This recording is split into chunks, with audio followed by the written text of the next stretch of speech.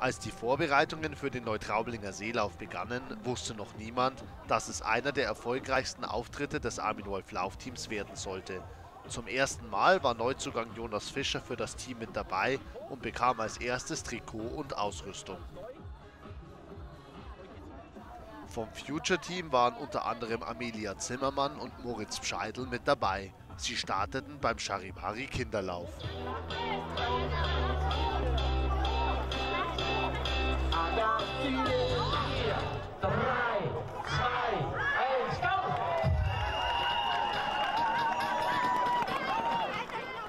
Beide schlugen sich wacker.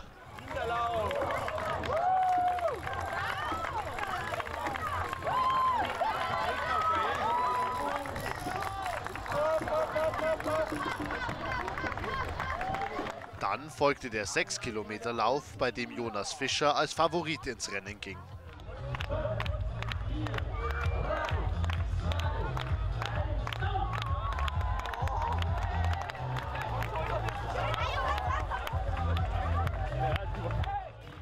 Zwischendurch gingen die Bambinis auf die Strecke. Fürs Future Team liefen Caroline Bartsch und Magdalini Alexandra Mergianiotis mit.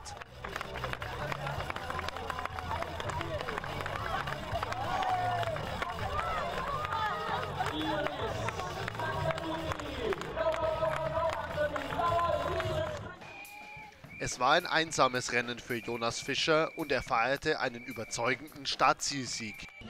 Ja, es war ein super schöner Lauf. Ähm, mir war das sehr wichtig, weil ich gern ähm, Projekte vom Armin unterstützen möchte. Ähm, und insofern habe ich heute einen guten Trainingslauf gehabt. Da kann man zwei Sachen verbinden.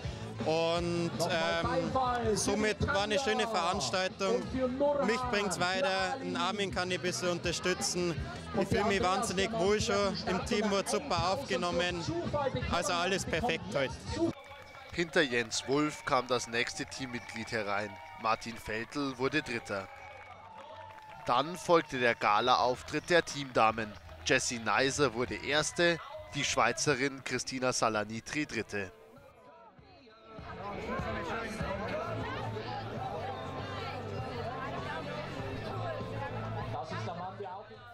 Über die 10 Kilometer war das Armin Wolf Laufteam so gut aufgestellt wie noch nie in Neutraubling.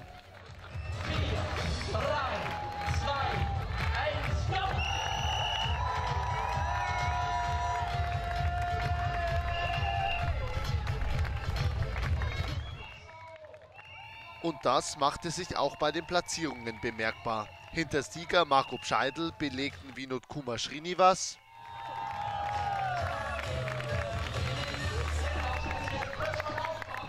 Felix Pochatka,